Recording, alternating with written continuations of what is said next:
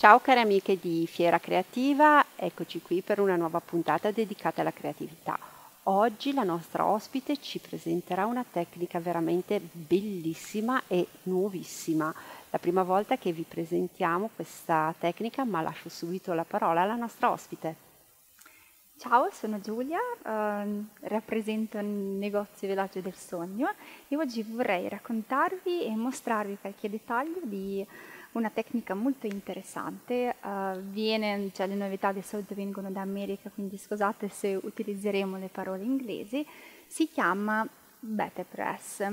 È una tecnica che permette di timbrare, realizzare delle card uh, utilizzando le placche. In questa volta diciamo non utilizzeremo i timbri per ottenere l'effetto così particolare, ma le placche di metallo. Le placche sono realizzate in metallo, quindi ci permettono di creare dei effetti molto particolari e non solo. È un modo innovativo, quasi quasi andiamo a riprendere l'effetto tipografico in casa. Allora, vediamo il procedimento a questo punto.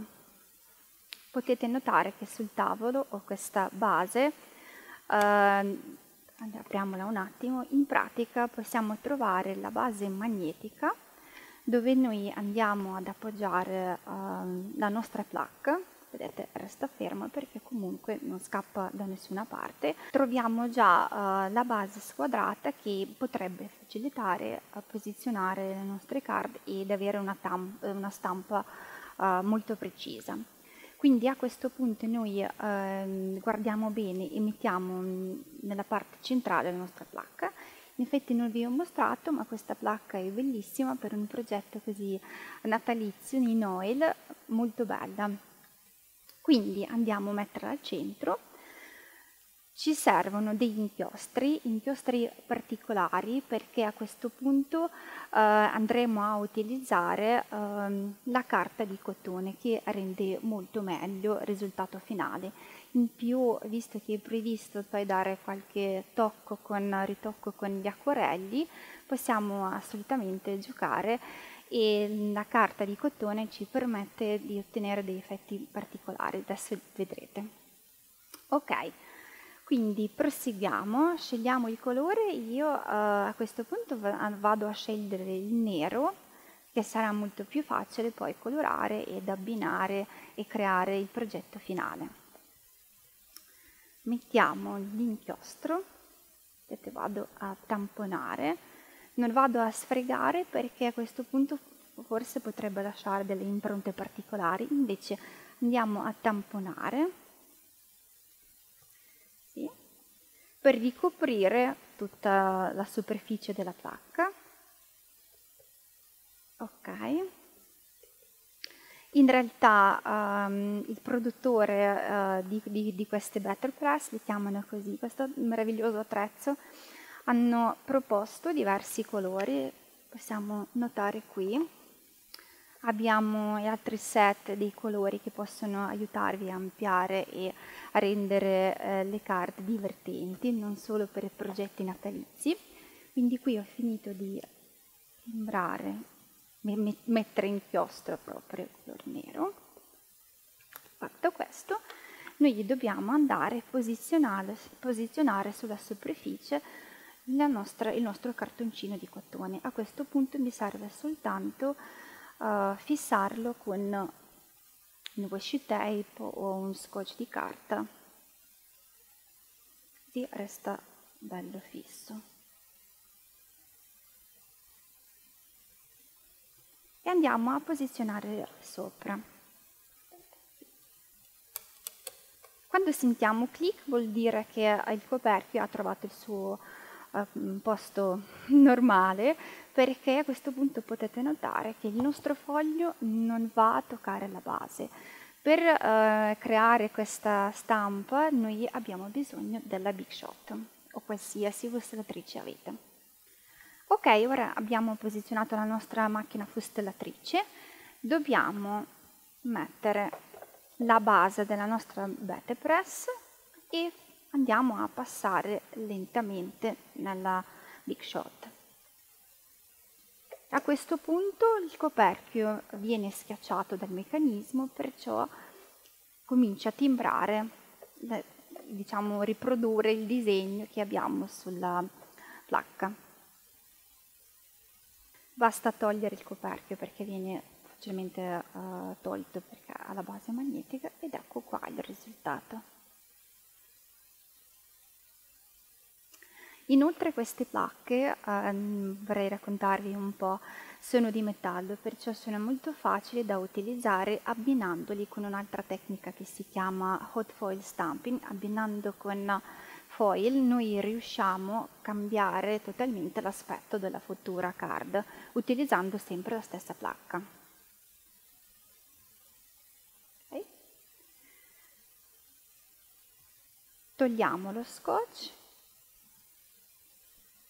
e ora non ci resta nient'altro che andare a colorare un po' con acquarelli, creare qualche dettaglio, arricchire il nostro progetto. Ok, adesso possiamo anche procedere con uh, colorazione con gli acquarelli, visto che la carta di cotone perciò ci permette svolgere il procedimento al massimo. Se proprio avete bisogno, e sicuramente tante creative hanno la passione per le fustelle, potete poi migliorare l'aspetto della uh, futura card utilizzando varie fustelle.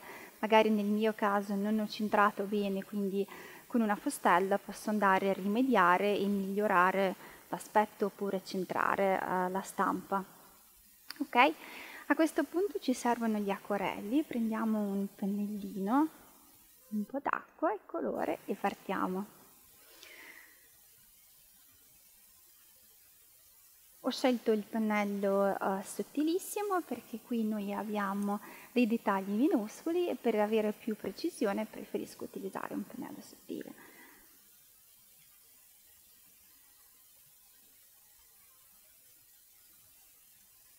Prendiamo un po' di colore andiamo a diluire, ho qui già messo un colore rosso brillante per riprendere un po' il progetto di Natale, vado a scaricare l'eccesso di umidità e cominciamo a colorare.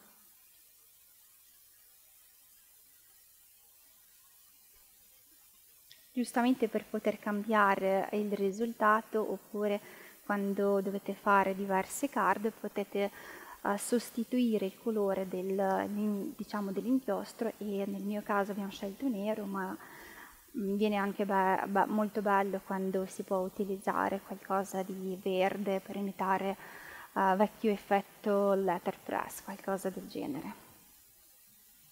Okay. Andiamo a colorare, abbiamo qui una stella di Natale, è un simbolo molto tradizionale, quindi possiamo ritoccare un po'. Giustamente se vi piace già l'effetto questo passaggio potete anche saltare oppure um, ritoccare soltanto qualche, qualche spazio e dettaglio.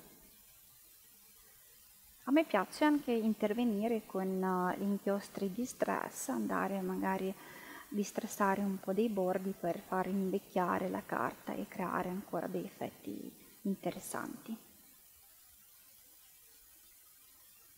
Qui abbiamo altri esempi come ehm, la card sarà il ehm, risultato finito, guardate ad esempio questo è un progetto natalizio, oppure ci sono altri progetti diciamo floreali che si può realizzare delle carte interessanti per buon compleanno e così via. Eh, ci sono alcuni dettagli eh, coloratissimi eh, qui, lo stesso, la stessa stampa, la stessa placca ma utilizzata in maniera diversa. Qui ho aggiunto il foil, poi ho colorato con gli acquarelli per ottenere una card coloratissima con colori autunnali. Okay. Oppure anche così, cambiando drasticamente eh, il, diciamo, il colore dell'inchiostro. Okay. abbiamo anche così. Semplice semplice. Poi qualcosa di colorato. Quindi qui secondo me dipende, se volete ottenere l'effetto colorato basta passare con i colori oppure anche da solo già presenta, ha un aspetto gradevole così retro. Come potete vedere questa tecnica si può utilizzare per diversi progetti, non, sotto, non soltanto natalizi, e si può ottenere dei effetti particolari colorando o lasciandola così. Volevo ringraziare lo staff di Fiera Creativa per questa possibilità di condividere con voi la mia passione per la carta e i colori. Ringraziamo la nostra ospite che ci ha fatto vedere una tecnica veramente bellissima, tutte le novità anche eh, americane riviste in questo bellissimo video. Eh, io la ringrazio veramente tanto, ricordo a tutte le amiche di seguire le pagine di Fiera Creativa per scoprire tutte le nostre news e continuare a seguire tutti i video di Creativa Channel. Alla prossima puntata, sempre con tanta voglia di creare.